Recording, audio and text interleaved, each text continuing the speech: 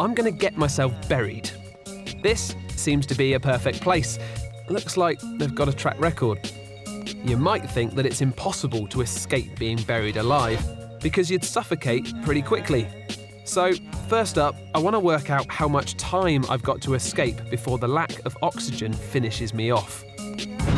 And because I haven't got a total death wish, I've got an ambulance and a doctor standing by to make it all end happily. I'm going to seal you in now.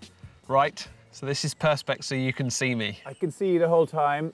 The clock starts ticking the moment my captor closes the coffin lid. So I'm going to seal you in. Great.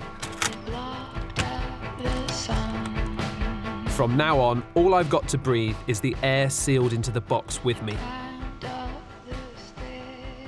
Ned's going to measure the oxygen in my blood and the makeup of the air trapped in the coffin.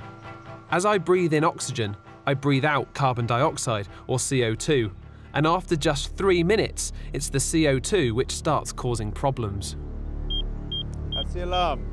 Oh, but that's our safety feature, to know we're going far out of uh, the normal. Oh, great.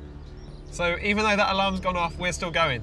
We're still going. The CO2 that's building up in my blood makes it a lot harder for my blood cells to take up any oxygen, even if it's there in the air that I'm breathing.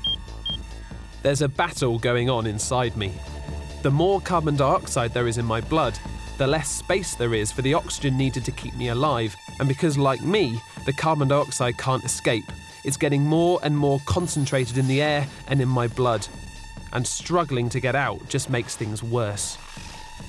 Gotta act like I was trying to break out. You're going to be using your muscles, breathing more oxygen, producing more carbon dioxide.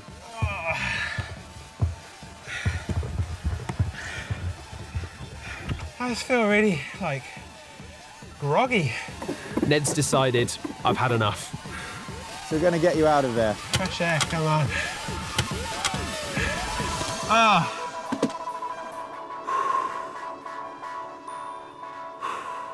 So the question is, how long would I survive if I was really buried alive? Oh, man. When you're fighting to get out the box, we saw the oxygen levels dropping by about half a percent in a minute. So you've probably got about, if you're really going for it, 16 minute maximum. Oh, man. So when it comes to being buried alive, time is definitely not on your side.